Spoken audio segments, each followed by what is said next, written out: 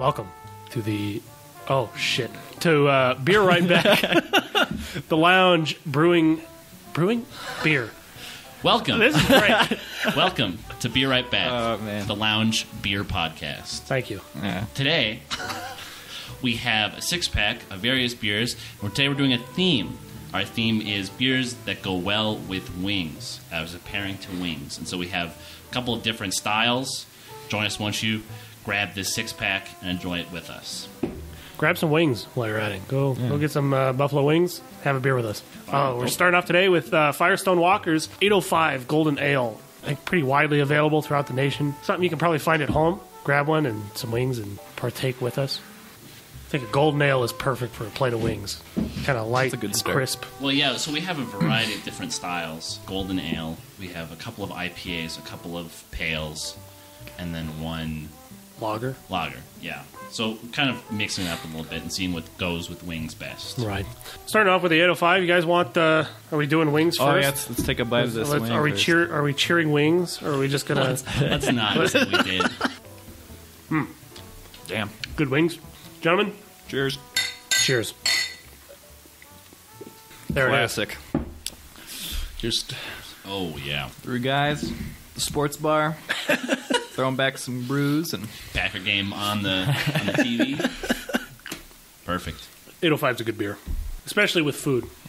Right. I don't think that 805 is a great beer to have alone, but with wings or pizza or some other greasy, maybe spicy food, it's perfect. Right. yeah, there's a lot of um, yeah. I almost want to talk about the wings more right now, but uh, on its own, there's not a lot going on. But I think that's its advantage is it leaves a lot of room for that sort of like I guess like other flavors to be kind of playing on your tongue there.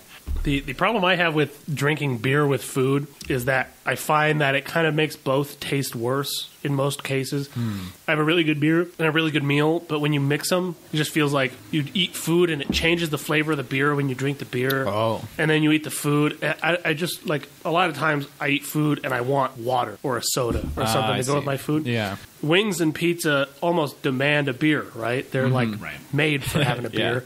And I think these kind of beers, these like lighter flavored, crisp, light beers, Mm-hmm. are perfect for that. And even like beyond flavor, I think there's my cultural consciousness of just like that's what humans have done for thousands of years is Right. gotten buzzed and eaten Meat and beer. Yeah, this is this is modern day mutton. This is just us Right, yeah. chowing down. Yeah. Just on a on a ham shank. Right. Perhaps. Yeah, a little smaller, but Just a little bit Yeah. smaller, even with all of the hormone and pumped. well, but then they didn't have buffalo sauce, so Yeah, there you go. or or cool ranch. Right. I really, I think it. The spicier the sauce, the better the beer is following.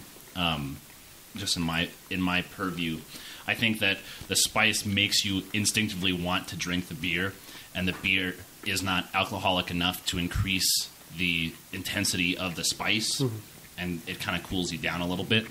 And 805 does exactly that. Firestone Walker knows what they're doing. They're a good brewery. Yeah, some of their we've had a couple of their barrel aged beers that were not as great, not as memorable. I don't think. Is it their rum? They made that. There was like Mm-hmm. six months where it seemed like everybody was making a rum barrel aged beer. Right.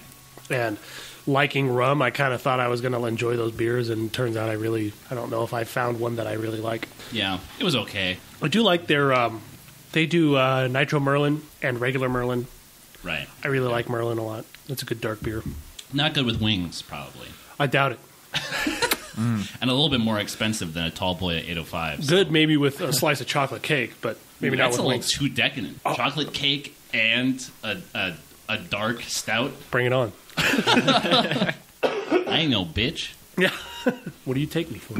805 was almost the first brewery I ever went to. Um, we went on a vacation to. You mean Firestone Walker?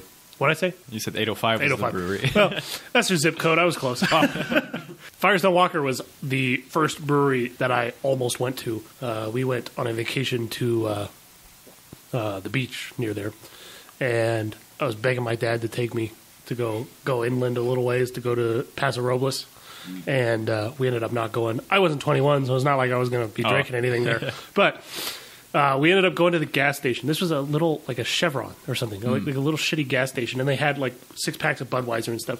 They had a bottle of Firestone Walker Stickee Monkee, which is their bourbon barrel aged bourbon or whiskey. Uh, it's one of their barrel aged beers, and it's one of these beers that I think is like kind of difficult to find in most of the country. And then here I found it at a gas station. It was fourteen dollars for this bottle. For how big of a bottle? It was a bomber. Oh, okay. So it's not not unreasonable, but it was just like again, I wasn't 21, so my parents bought it for me, and I took one sip, and I went, I don't like this.